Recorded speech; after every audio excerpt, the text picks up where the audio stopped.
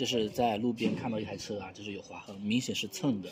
现在我们来给它去划痕啊，看一下啊，你使稍微使点劲，擦久一点，慢慢来。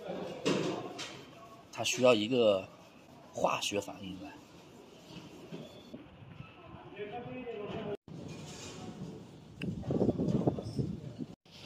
像这种刮蹭的油漆呀，你看这红色的是别人的油漆，对不对？我们就用我们送送的这个柏油清洗剂。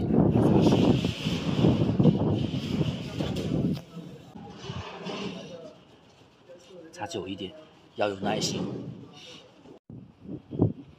大家看一下这个效果啊，我是大概擦了五分钟。最后我们再用划痕蜡给它揉。